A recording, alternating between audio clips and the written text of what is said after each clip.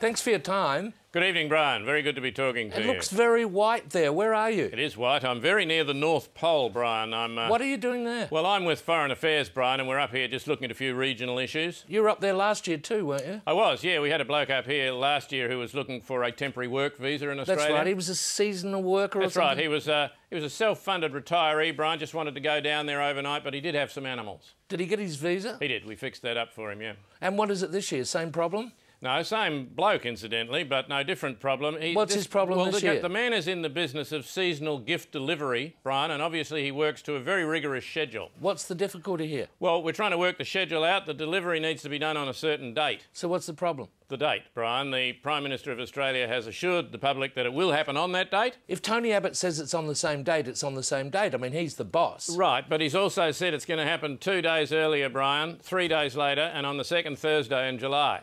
Haven't the gifts been ordered? Well, Mr Abbott says people have only heard them being ordered. They heard them being ordered. That's what he says, yeah. But they haven't been ordered. That's right.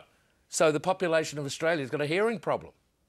I beg your pardon, Brian. You'll have to speak up a bit. Is there an actual minister with courage of this? Well, yes, there are two, Brian. Christopher Pyne has ruled out the possibility of this delivery happening at all. Well, how, how could the gifts arrive if there's no procedure for their Yeah, I don't think he's opposed to gift delivery per se, Brian. So why did he say he was scrapping the delivery Yep, system? there's an inconsistency, no question. Well, who was the other minister with courage on Well, the other this? one is Scott Morrison, Brian, and he's released a statement. And you've got a copy of that? Yeah, this statement is to the effect that insofar as this is not a statement, this is a statement to that effect. The man standing next to him is in the military. Well, where does that leave the bloke that's got to deliver the gifts? Well, I'm waiting for a, a message. I've got an app on my phone, Brian, that alerts me whenever there's a change in Australian government policy. Well, that'll be handy. Yeah, it went off 12 times on Friday. 12, why 12? Oh, Joe Hockey was trying to sell GrainCorp. And what happened?